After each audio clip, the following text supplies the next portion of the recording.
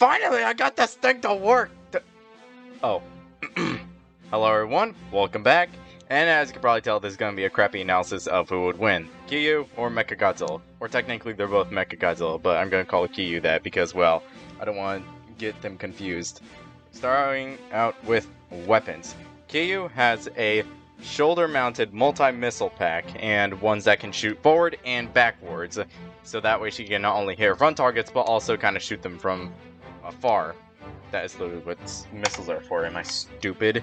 Next up, she's got forearm mounted little laser masers or whatever they're called. I'm gonna call them that because it sounds cool. And with the little Zord with an extra zap that comes out. Now, in Tokyo SOS, she does have a um, little drill hand, but I'm not gonna count that because, well, it's not important. Plus, there can only be one Mechagodzilla that can have that. Besides that, she's still pretty strong. As you probably know from Death Battle video, you probably know she's a lot durable and stronger and probably one of the most deadliest out of the bunch. But she's not going up against any Godzilla or Mecha Godzilla. She's going up against, well, Ghidorah. But another thing I also think is interesting, how it's not just machine versus machine. It's gonna be cyborg versus cyborg. Kiryu is obviously built around the skeleton of the original Godzilla. Meanwhile, Mecha Godzilla has Ghidorah's skull in the jaw and is obviously has the soul or mind of Ghidorah. Speaking of Mechagodzilla there, let's see what weapons he has.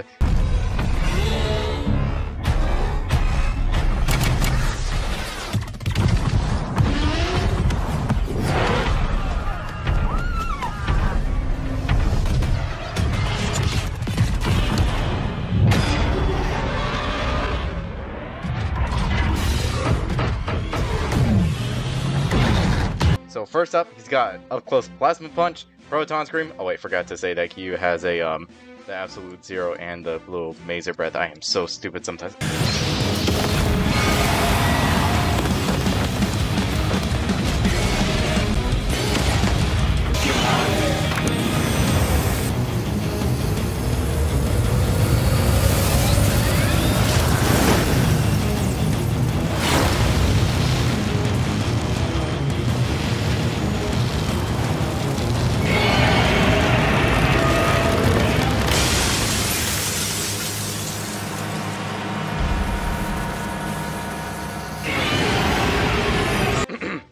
Got Plasma Punch, Proton Scream, Drill Tail, or Scythe Tail, Tail Scythe, whatever the heck you want to call it.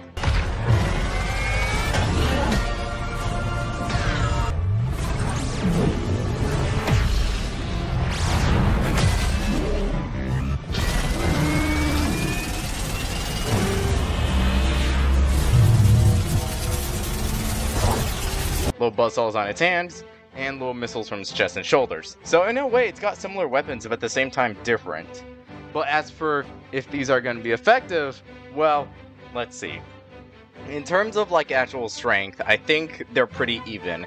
Because first off, Mecha Godzilla, well, weighs this much, and Kiryu weighs this much, actually. I don't know, I'm just gonna pop this pictures up on the screen so you tell me. And that's for like weight, but as for like actual strength, we know Kiryu was able to lift Godzilla, and according to Death Battle, is about 25,000 tons, and that's a lot.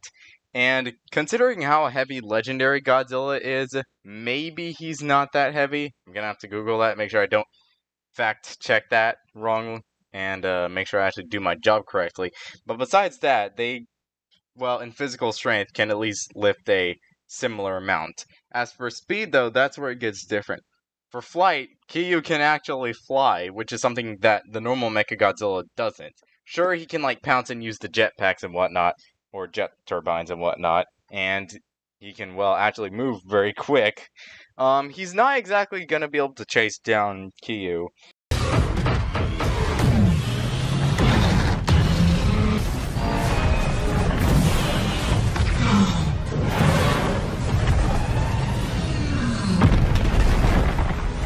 And uh, even if he can't shoot the proton scream, she's gonna be able to tank that. I mean, if she can tank her own absolute zero, she is gonna take a couple shots from Mecha Godzilla's proton scream.